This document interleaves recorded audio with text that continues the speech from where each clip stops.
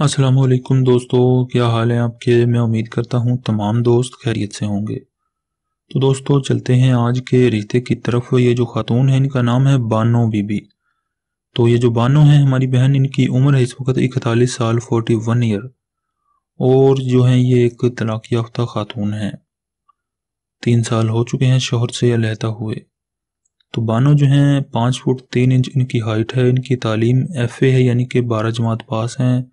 इसके अलावा एक बेटी है इनकी, बेटी इनके साथ ही रहती है। मुसलमान हैं, ये फ़िरका जो है इनका वो देवबंद है और इनकी जो कास्ट है ये जट बरदरी से ताल्लुक़ रखती हैं। इसके अलावा इस वक्त जो है ये सुबह पंजाब का जो सिटी है कसूर, वहाँ पर रहती हैं अपने वालदेन के घर पे। तो काफ़ी अच्छी फैमिली है ये, काफ़ी जो है सुलझे हुए लोग हैं। किस चीज़ की कोई कमी नहीं है जो हैं, ज़िम्मेदारा करने वाले लोग हैं, यानी कि खेती बाड़ी करने वाले लोग हैं ये। ज़मीनें वगैरह काफ़ी हैं, इसके अलावा जो है, माल मवेशी रखे हुए हैं। तो ये बेसिकली एक गाँव है, कसूर जो है, सिटी जो है, उसके पास वहाँ पर रहते हैं।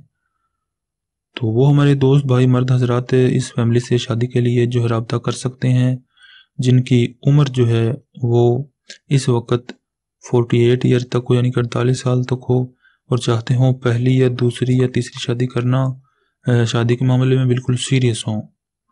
इसके अलावा ज़ात बरदरी कोई भी हो, लड़का जो है पाकिस्तान के किसी भी शहर में रहता हो, अच्छे ख़ानदान से हो, और जो है ठीक ठाक कमाता हो, यानी कि गुजारा जो है शादी के बाद जो है अच्छे से इनका हो सके, और जो एक अहम बात है कि इनकी जो बेटी है, वो भी इनके साथ ही जाएगी शादी के बाद। तो वही लोग रब्ता करें जो इनकी बच्ची की ज़िम्मेदारी भी उठा सकें। तो हमारे वो दोस्त जो चाहते हों, इनसे रबता करना, बात करना, शादी के बाद मिलना, वो बर मेहरबानी अपनी तमाम तर तफसीत के साथ अपना व्हाट्सएप का नंबर वीडियो के नीचे कमेंट बॉक्स में लिख दें, आपसे बहुत जल्द रबता कर लिया जाएगा। तो इसी के साथ दोस्तों, हमें दें इजाज़त, अल्लाह हाफिज़।